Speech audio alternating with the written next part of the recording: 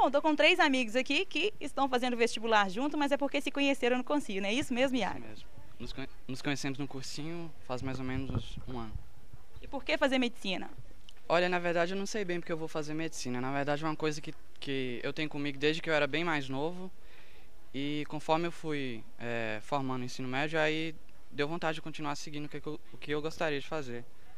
Mas não é nada específico, é mais pelo curso. Eu acho interessante fazer medicina. Lucas, e de onde que surgiu esse sonho de fazer medicina? Na verdade, esse sonho é desde criança mesmo. Sempre pensei em ser um médico um dia e tudo. Tenho amigos que fazem medicina, que gostam muito do curso. E é uma área que eu acho assim que é interessante ter uma carreira muito promissora. Certo, e a gente também tem mais um coleguinha, né, que vai fazer também medicina, Kaique. Por que fazer, fazer medicina? De onde que surgiu esse sonho? Primeiro, igual meus colegas, eu acho que desde criança eu sempre quis, gostei muito dessa área e ao longo do ensino médio eu vi que nas disciplinas relacionadas a essa área é a que eu mais me dava bem, então é eu- por isso que eu pretendo seguir na medicina. Qual área que você deseja atuar? Eu pretendo, hoje eu penso em cardiologia após me formar, mas ninguém sabe, né? Pode ser.